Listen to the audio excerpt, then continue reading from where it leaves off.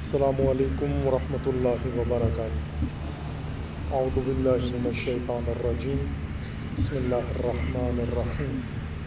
اللہم وفقنا لما تحب وترضى واجعل عاقبة امورنا خیرا۔ ولا تکلنا الى انفسنا طرفت عین ابدا۔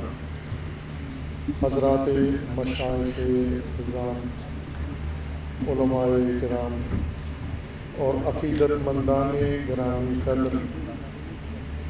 اللہ تعالیٰ کی بارگاہ میں شکر گزار ہیں اس عظیم سعادت پر و توفیق پر کہ آج اس محفل نورانی میں اور اس روز مبارک روز میلاد حضرت امام زین العابدین علیہ السلاۃ وسلام یہ سعادت نصیب ہوئی ہے کہ ایک سلسلہ سادات کے روشن چراغ، حضرت وجیح السیمہ رحمۃ اللہ علیہ کے عرص مبارک میں شرکت کے لیے ہمیں سعادت نصیب ہوئی ہے۔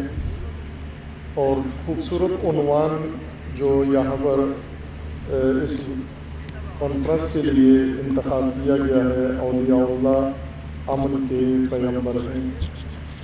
آج عزیزان، پاکستان بہت ساری مشکلات کا شکار ہے اور ہر آدمی چاہتا ہے کہ ان کا راہ حل پتہ چلے، ان دکھوں کا مداوع معلوم ہو، ان پریشانیوں سے کوئی نجات دینے والا ہو موجود۔ تو اپنے کہیں جتنی کوششیں کی جاتی ہیں، اس میں مزید مشکلات میں اضافہ ہو جاتا ہے۔ سیاستدان اپنی بساط کے مطابق کوشش کرتے ہیں، حکمران اپنے انداز سے کوشش کرتے ہیں، ملکی ادارے اپنے طور پر کوشش کرتے ہیں، علماء، مفتیان گرامی اپنے طور پر، اور اسی طرح انٹلیکچوئلز لوگ، تعلیم یافتہ طبقہ اپنے طور پر ہر ایک تجاویز دیتا ہے، گفتگو کرتا ہے، اور اب تو ٹیلی ویژن پر ٹاک شوز میں اتنی زیادہ ان موضوعات پر گفتگو ہوئی ہے اور ہو رہی ہے کہ عوام اکتا گئے ہیں۔ اب ان کا جی نہیں چاہتا کہ وہ مزید سننے کچھ ان کی، بے روح باتیں اور بے مقصد باتیں۔ لیکن ہمارے پاس تاریخ بھی گواہ ہے اور ہمارے پاس اولیاء اللہ اور پیشوایانی دین کے اقوال و فرمودات اور ان کے پاکیزہ کردار بھی موجود ہیں۔ کہ امت کی ان موجودہ مشکلات کا راہ حل کہاں پر ہے؟ علامہ اقبال رحمۃ اللہ علیہ نے خلاصہ کر کے اس مطلب کو بیان فرما دیا تھا کہ شکتی بھی، شانتی بھی بھگتوں کے گیت میں ہے۔ دھرتی کے باسیوں کی مکتی پلیت میں ہے۔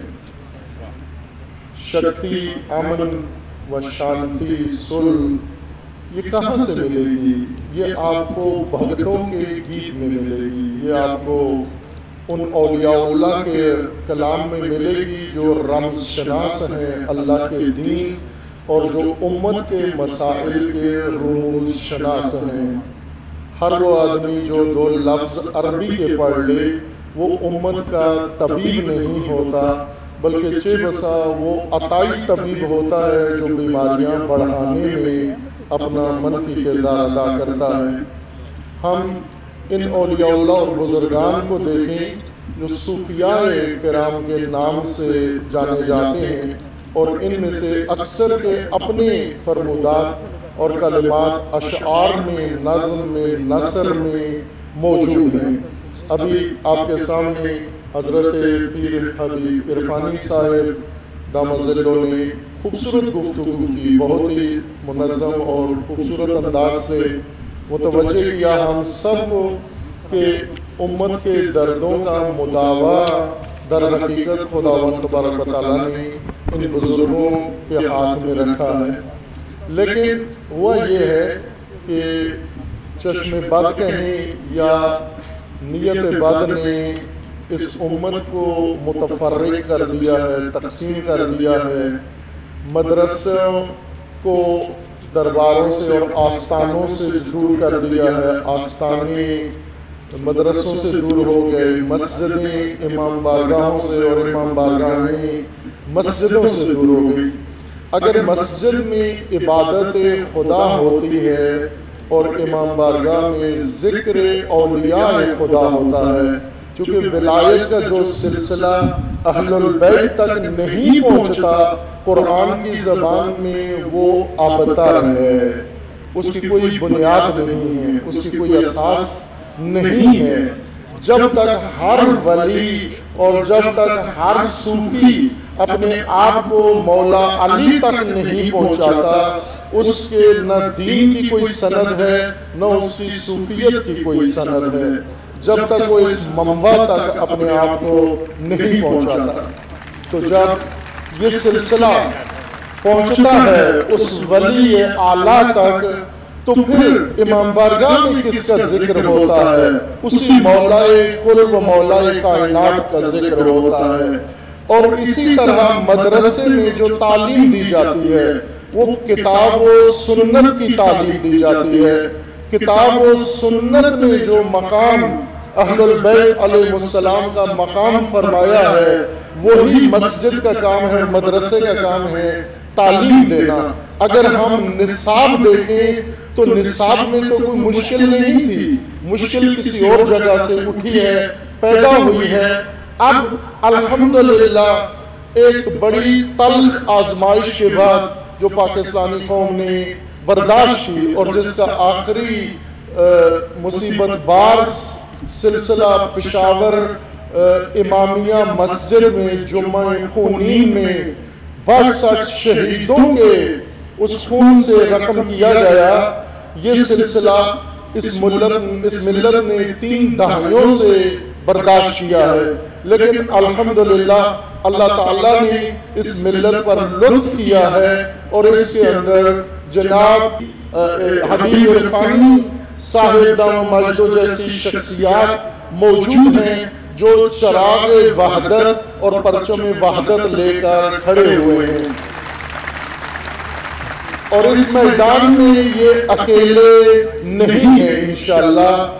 ہر وہ باشعور انسان جسے اللہ تعالیٰ نے پہلے نعمت انسانیت عطا کی ہے پھر اسے عظمت اسلام مسلمان ہونے کا شرف عطا کیا ہے۔ اور پھر خداوند تبارک و تعالیٰ نے اسے رسول اللہ صلی اللہ علیہ وآلہ وسلم کی امت ہونے کا اعزاز عطا کیا ہے۔ اور پھر اسے آل رسول کا پیروکار بنایا ہے۔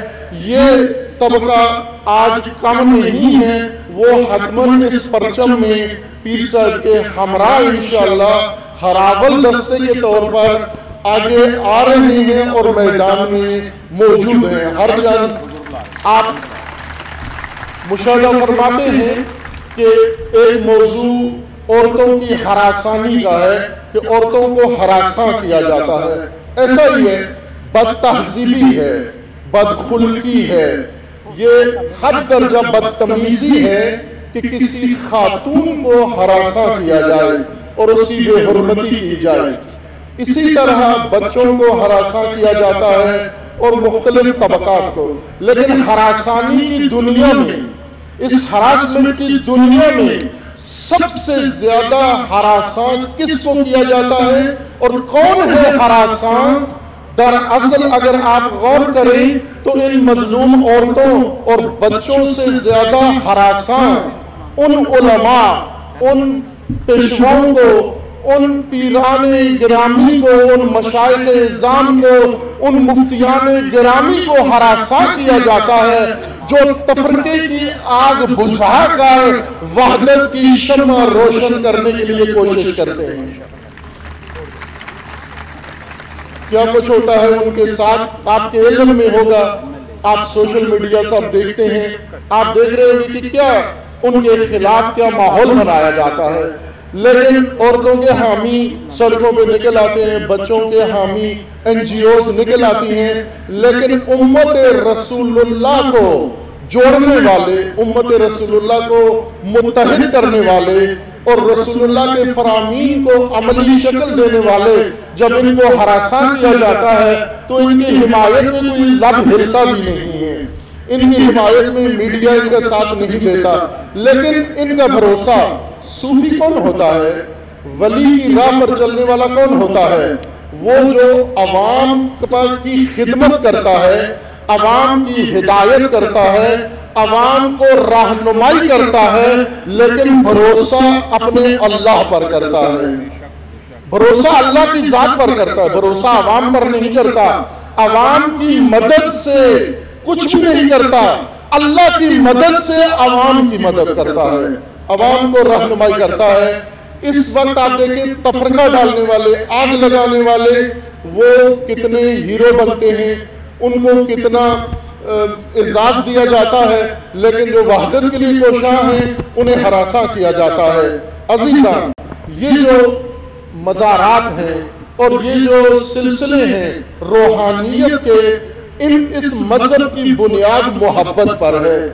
ولی اللہ محبت کا درس دیتا ہے۔ ولایت کی پہلی اکائی۔ ولایت کی الفابیٹک وہ محبت ہے۔ ولایت محبت سے شروع ہوتی ہے۔ محبت پہ جا کر ختم ہو جاتی ہے۔ یہ نہیں ہو سکتا کہ ہم رسول اللہ سے محبت کریں اور رسول اللہ کی امت سے محبت نہ کریں۔ رسول اللہ کے کلمہ پڑھنے والوں سے محبت نہ کریں۔ ان آستانوں سے در سے محبت ملتا ہے۔ اور یہ آستانی میں یہ عرض کروں پاکستان کی سیاست میں، پاکستان کے ہر شعبے میں جو آستانوں کے متولیان ہیں، ان کا بڑا حصہ ہے۔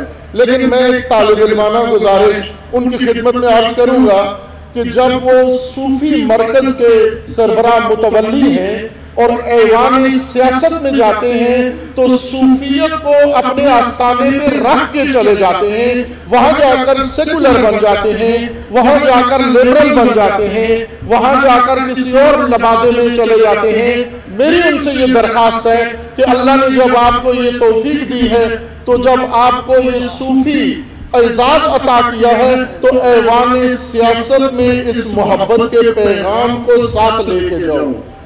سیاست میں اس پیغام کو عام کرو۔ وہاں جا کر ملک دشمن پارٹیاں اور اقتدار کے نشے میں مس پارٹیوں کو آستانوں کا پوٹنشل ان کے قدموں میں جا کر مت ڈالو۔ بلکہ یہ اولیاء اللہ کا جو پوٹنشل ہے، اس کو آپ کلمت اللہ کے لیے کہ کلمت اللہ ہی الاولیاء اور انشاءاللہ یہ سب مراکز دین خواہ وہ آستانے ہوں وہ مدرسے ہوں وہ مساجد ہوں وہ امام بارگاہیں ہوں وہ انشاءاللہ سب مل کر جب پرچم وحدت امت اٹھائیں گے تو اللہ تعالیٰ اس امت کی مشکلات اس ملک کی مشکلات ہر چیز کی مشکلات حل کر دے گا۔ آج کل ہمارے اس زمانے میں عدم اعتماد کی تحریک چلی ہوئی ہے، بس میں ختم کر رہا ہوں اپنی گفتگو کو۔ عدم اعتماد، یہ عدم اعتماد بہت ضروری ہے۔ خداوند تبارک تعالیٰ نے بھی فرمایا ہے مومنوں کو کہ مومنوں ہرگز یہود و نصارہ پہ اعتماد مت کرو۔ اللہ کے دشمنوں پر اعتماد مت کرو۔ ان فاسد لوگوں پر اعتماد نہ کرو۔ یہ آپس میں سیاستدان جو مرضی کرتے رہیں لیکن میری یہ گزارش ہے کہ اولیاء اللہ کے ماننے والے عقیدت مند اہل بیت کے ماننے والے صحابہ کے ماننے والے رسول اللہ کی سنت پہ چلنے والے قرآن کے پیروکار ایک دفعہ سب مل کر ہر اس طاقت پر عدم اعتماد کر دیں جو ان کو تفرقہ ڈالتے ہیں۔ جو ان کے اندر منافرت ڈالتے ہیں، ان سب پر عدم اعتماد کر دیں انشاءاللہ، خدا اس پرچم کو سر بلند کرے گا۔ اللہ پاکستان کی حفاظت فرمائے گا اور ملت پاکستان کو خدا و تعالیٰ پوری دنیا کے اقوام میں سر بلند و سرفراز فرمائے گا۔ میں اسی شعر پر اختتام کرتا ہوں کہ شکتی بھی، شانتی بھی بغتوں کے گیت میں ہے۔ دھرتی کے باسیوں کی مکتی پریت میں ہے۔ والسلام علیکم۔